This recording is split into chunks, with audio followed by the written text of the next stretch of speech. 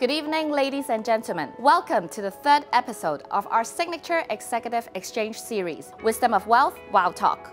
Now, in each episode of Wow Talk, we would invite prominent business leaders across different sectors to discuss Asia's booming wealth opportunities. And of course, we want them to share the secret to their success and also the wisdom to wealth generation. In our past two episodes, we explore the relationship between metaverse and health tech and wealth opportunities. And today we want to bring you along to Hong Kong's art and cultural scene. We're very honored to have Ms. Suhanya Raffel, Museum Director of M Plus Hong Kong, joining us here today. Now, M Plus opened its doors last year in November, and it is Asia's first global museum of contemporary visual culture, showcasing 20th and 21st century visual art, design and architecture, and moving images. And of course, with us on HSBC side, we have Ms. Maggie Ng, Head of Wealth and Personal Banking, HSBC Hong Kong, here with us today. Welcome both. So Suhanya, um, when you hear the name HSBC, is there a particular piece of art or installation that immediately goes to your mind? Actually, many things. Mm. Not one answer, but a few answers. starting with the building itself. As a museum of visual culture that includes a real interest in architecture and design, this building, designed by Norman Foster, took seven years to build, opened in the mid 80s, 1980s, is also a landmark part of Hong Kong's architecture. So that houses a great graphic design as well, the HSBC logo, which was also revamped by Henry Steiner in also in the early 80s. And we have those drawings in our museum collection on display right now for audiences to, to see. Um, together with you know the beautiful lions that welcome visitors onto the site. So really, it's a great package. That's right, and it is a landmark as well. If you see this building, you almost immediately know that it is Hong Kong. Mm. We do have collected a lot of artifacts over the years, mm. right? It's sort of like telling a story of HSBC, how we're rooted in Hong Kong and seeing Hong Kong grow as well.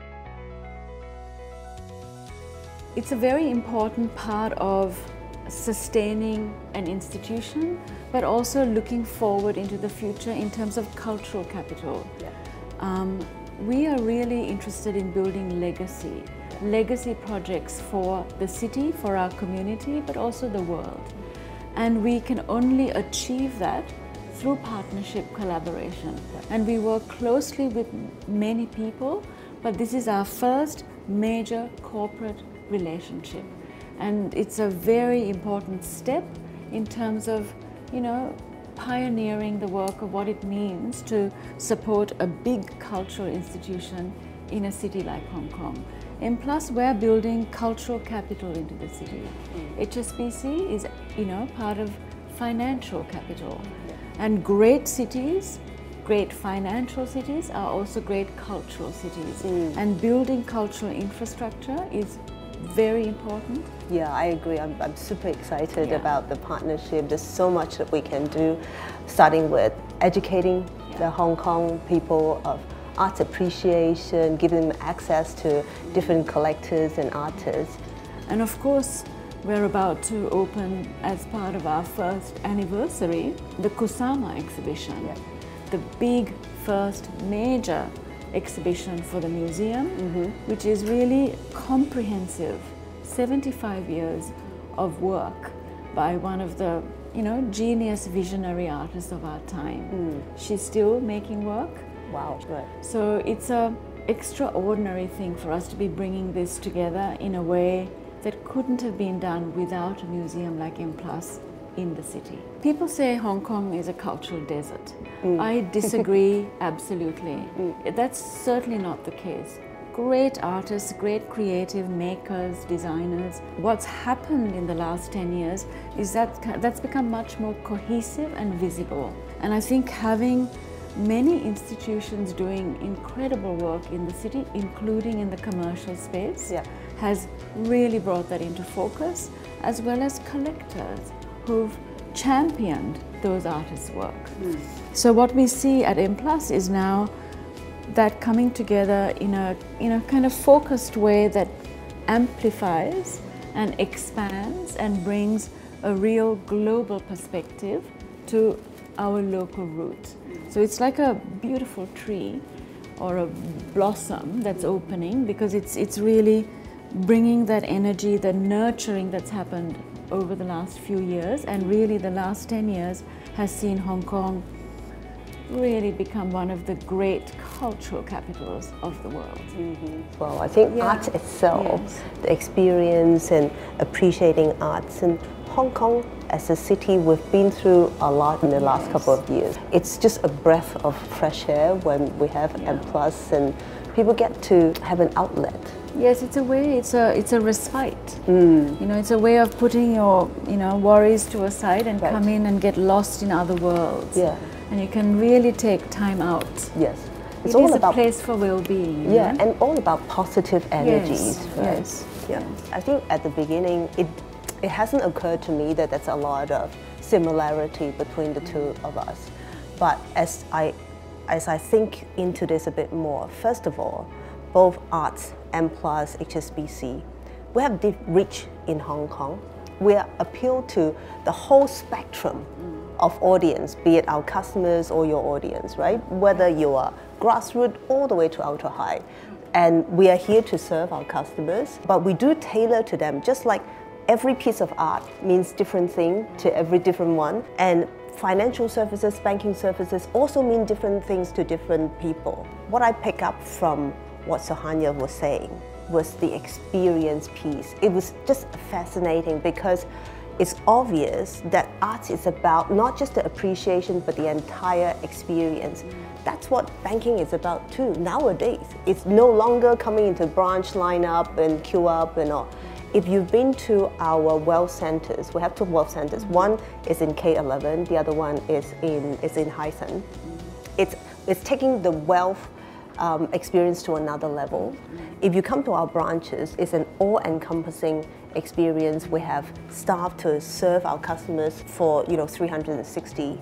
If you choose to bank with us on mobile, digital, it's a 24 times 7 experience. Last week, last year, we invested a lot into our digital journey so that it is intuitive experience for our customers. So at the end of the day, the, the customer comes in, either appreciate a piece of art or get a transaction done, but the experience of that person coming in to view the art or completing the transaction is what's important to us. Yeah.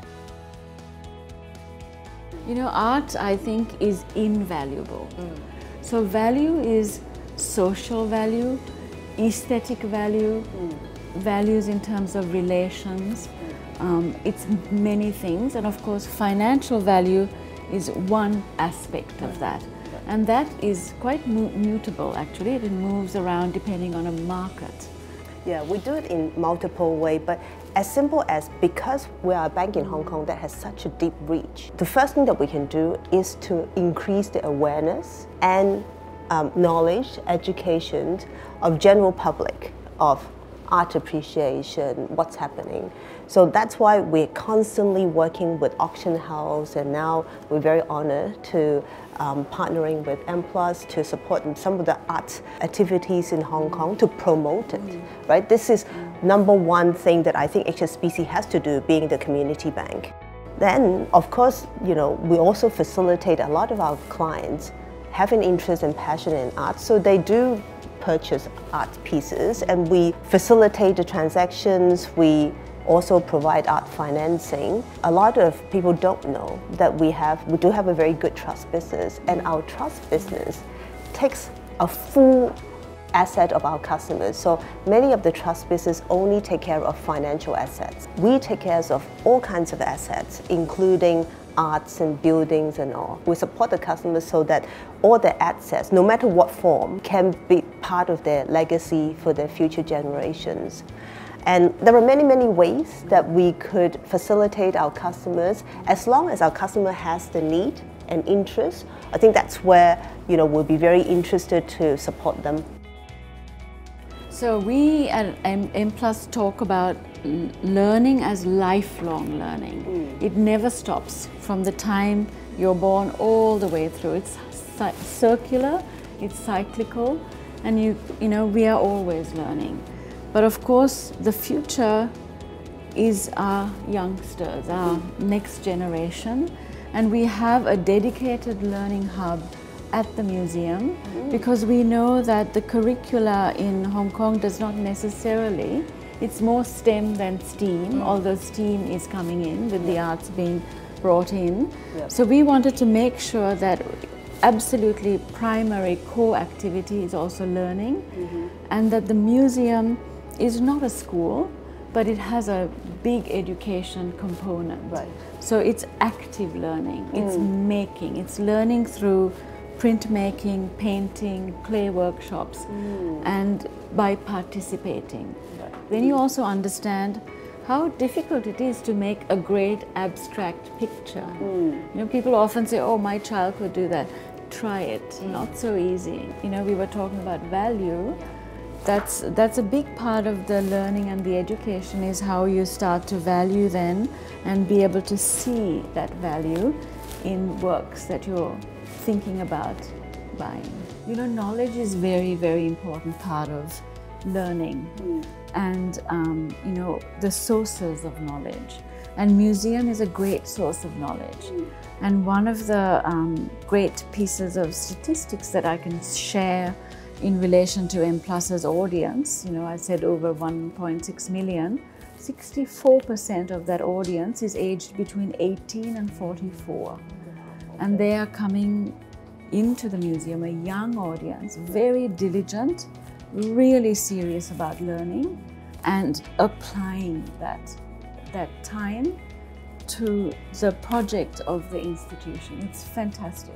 We spend a lot of time focusing on educating millennials. We think the wealth starts from young, just like how very much like wealth, arts, ah. right? You you really need to build the habit when you're young, and you have to do it right as well. Throughout the last year, we've built a, a huge HSBC collections of education's materials targeting the millennials. So I'll give you an example. My son last year opened up a stock trading account. To his surprise, also to my surprise as well, after he opened the account, for a consecutive week, he has been receiving one email per day from HSBC, giving him small tips about you know what you can do with your accounts and this is how you know ways to diversify it and things like that. I didn't know about this until my son um, had access to it. But then it also goes to show our uh, determination to educate the millennials so that they have the right knowledge about investment.